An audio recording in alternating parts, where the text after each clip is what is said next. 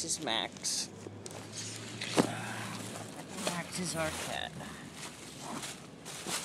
Max has leukemia and more Morgellons, and he's been exposed to the same horrible things that we have. Max takes the cake. Max likes cake. And even though kitties aren't supposed to eat so much chocolate, Max likes chocolate. And I couldn't stop him from eating the cupcake, so he gets the cupcake. He's such a sweet boy. I figure he's sick, he's dying, let him have some cake. We're to try the ivermectin on him. We're going to try the ivermectin on us too. See if we can't kill some of the mange causing mites and other parasitic awfulness that we've been exposed to. Uh, Max responded fairly well to the uh, antibiotic treatment and uh, the deworming medicine. We're going to try the ivermectin. Thank you very much for helping and thank you for watching. When the lady called the doctor and said, would you like us to put your cat to sleep? I said, what? You mean murder him? Kill him? Why? They said, because he's got feline leukemia and he's to get sick and die and he's very thin and blah, blah, blah. And I said, yes, I understand that he's very sick.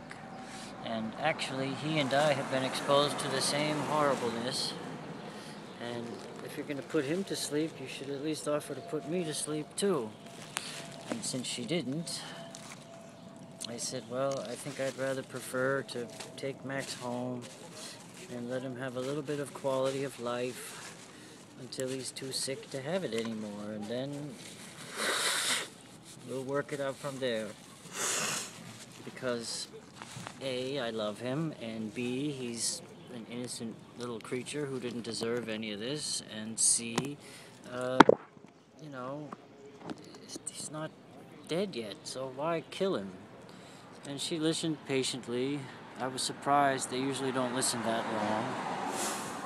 And I said, thank you very much. Uh, if he gets much more sick or in a lot of pain, then we'll reconsider your, your generous offer. But for now, if it's okay, I'd really like to take him home, give him some medicine, try to clean him up and get him a little healthier, let him have a little bit of life because he's a very loving guy and very vocal and very sweet.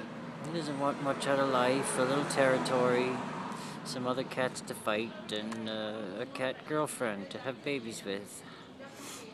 That's what most cats want. little territory, somebody to love them. And we love him. He's just a cat, but I'm just a person. Anyway, thanks for watching. Thanks for helping. God bless you all.